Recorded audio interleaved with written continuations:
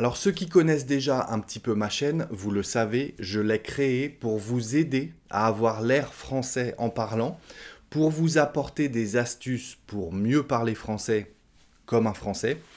Alors comment prononcer les marques en français, le nom des marques en français? Eh bien c'est une question qui revient souvent et à laquelle j'ai décidé de répondre aujourd'hui avec mon amie Emma d'ailleurs. Alors on va vous proposer 18 noms de marques à savoir prononcer en français. Ça va enchaîner tout de suite après l'introduction, donc concentrez-vous, on revient juste après ça.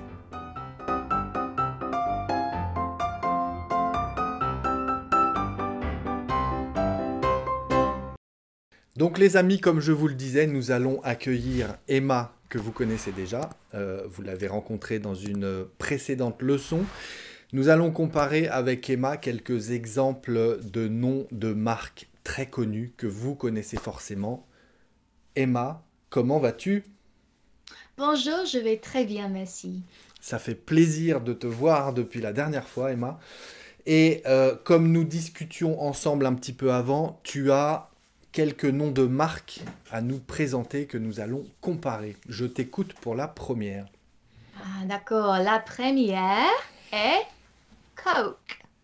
Coke, Coca-Cola. Alors, euh, en français, on dit un Coca, d'ailleurs. Quand on est dans un bar et qu'on commande euh, un verre, on dit un Coca. Est-ce que je peux avoir un Coca? Vous dites a Coke, right? Oui, in English, we would say I would like a Coke. Ok. Donc nous on dit un Coca, la marque c'est Coca-Cola, mais on dit un Coca ou du Coca. On va acheter du Coca au supermarché par exemple. Deuxième exemple. Ah d'accord, c'est Disney. Ah Disney. Disney. Disney. On dit Disney. Alors à Paris c'est Euro Disney.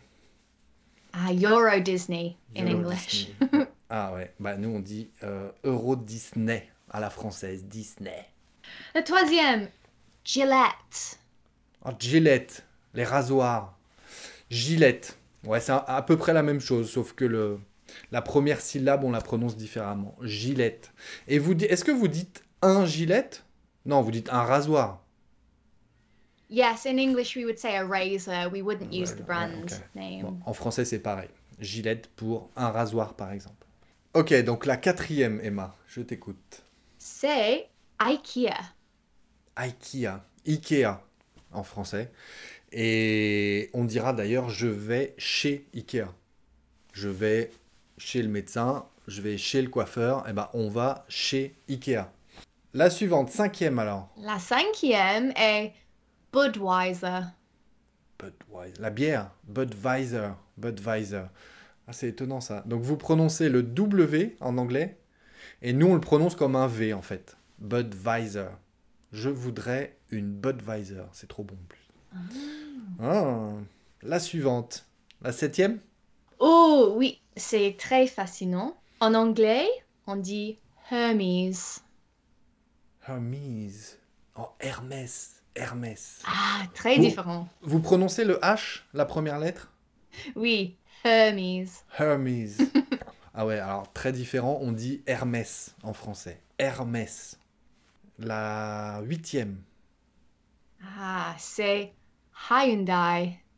Hyundai. Euh, alors nous on dit, en tout cas moi c'est comme ça que je dis Hyundai. Et dans les publicités c'est comme ça qu'ils disent à la télé. Donc je crois que c'est comme ça qu'on dit en français. Hyundai. Hyundai. Hyundai intéressant. La suivante. C'est Audi en anglais. Audi. Alors nous on dit euh, à la française Audi. Audi. Ah, Audi. euh, neuvième, Emma. C'est Volkswagen. Volkswagen.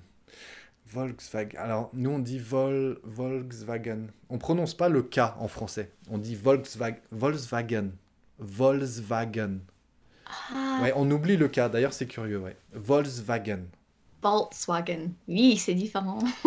La dixième ou onzième, je sais plus. L'Oréal en anglais. L'Oréal. L'Oréal. Ouais, c'est presque pareil. L'Oréal. L'Oréal, ok. Les cosmétiques. Ah oui, La suivante, Emma, je ne les compte même plus en fait. La suivante.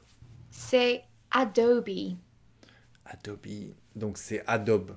On dit Adobe en français. Ce sont la- C'est une marque de logiciels. Peut-être que les amis, vous ne connaissez pas, mais c'est une marque euh, très très connue de logiciels pour les ordinateurs. Et donc c'est Adobe. On prononce Adobe en français. Adobe en anglais. Ouais, vous prononcez le B. Adobe. Nous, on, on mange le E à la fin. Allez, la suivante, Emma. Ah, c'est Huawei. Huawei. Alors, il y a une syllabe en plus en anglais.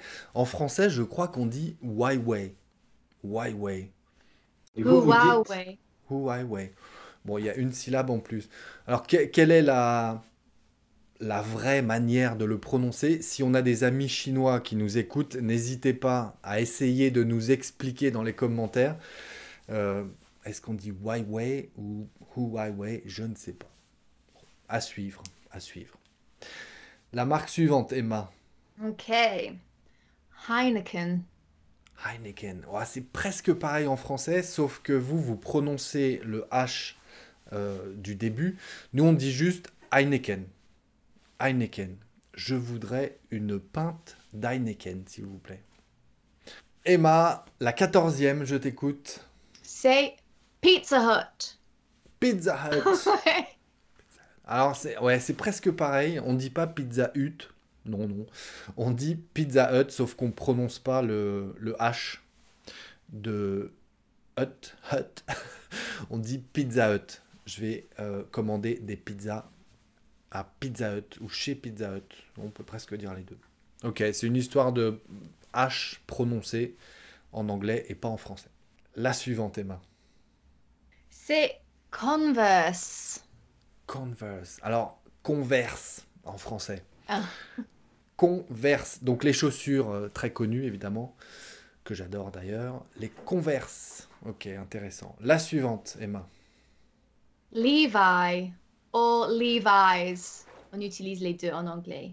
Le logo, il est où? Ah oui, ok. Ah, Levis, on dit en français. Levis. Ah, Les jeans. Les jeans Levis. Et là, là, le vrai nom de la marque, c'est Levi Strauss, je crois. Levi Strauss. Oh, Levi Strauss. Levi Strauss, ok. Mais on dit, ouais, Levis. Je vais m'acheter un Levis. Ok. On dit comme ça en français. Je vais m'acheter un Levis. Est-ce que tu en as encore d'autres, Emma, ou pas? Oui, oui. C'est L'Occitane en anglais. Il y a deux prononciations. L'Occitane ou L'Occitane. L'Occitane. Ok. Alors, on, on- la version française, ce sera l'Occitane. Donc, les, les, les, les deux C, en fait, on va les prononcer comme un X. L'Occitane. L'Occitane. C'est pas, pas facile celui-là en anglais, je pense. hein. Ah, oui, c'est Mm. difficile. D'accord. L'Occitane. Est-ce qu'il y en a encore? Oui, Michelin. Michelin. It sounds like... c'est- On dirait un prénom, un prénom féminin.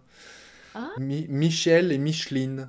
Euh, alors non, on dit Michelin en français en tout cas. Michelin. Michelin, on on va pas insister sur le E, on va presque manger le E une fois encore, on va dire Michelin. Michelin. Donc pour ceux qui ne connaissent pas peut-être, on connaît les étoiles pour les restaurants, hein. Euh, la classification des restaurants, les étoiles Michelin, mais c'est surtout connu pour euh, bah, la marque de pneus, hein, les pneus de voiture, les pneus Michelin, les amis.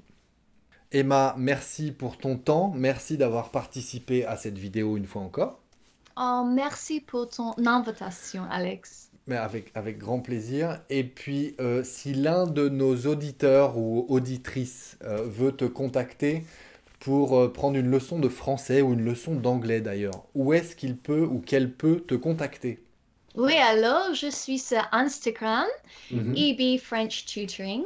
mhm. Si vous euh, voulez des leçons d'anglais ou de français, vous pouvez m'envoyer un message. Eh ben, c'est parfait. Et puis on met en plus euh, les liens euh, en description de ton compte Instagram et de ta page Patreon d'ailleurs que je vais rajouter juste en dessous. Ok? Merci encore Emma et euh, je pense qu'on va se revoir très bientôt dans une prochaine leçon encore. hein. À très vite. Ciao, ciao. Voilà les amis, j'espère que cette nouvelle leçon vous a plu. N'hésitez pas à nous le faire savoir en commentaire de cette vidéo. Un petit pouce en bas ou en haut pour euh, savoir si ça vous a plu. Et n'hésitez pas à nous écrire des noms de marques que vous aimeriez savoir prononcer comme un français. On pourrait faire d'autres vidéos comme celle-ci. Donc surtout, je compte sur vous pour euh, nous faire des retours. Allez jeter un œil sur mon compte Instagram également, sur ma page Patreon si vous souhaitez participer au développement de ma chaîne YouTube. Et tous les liens vers euh, le compte Instagram et la page Patreon d'Emma sont dans la description de cette vidéo. Ok? D'ici la prochaine leçon, je vous dis travaillez bien, restez concentrés les amis, prenez soin de vous et à très bientôt sur le français by Alex.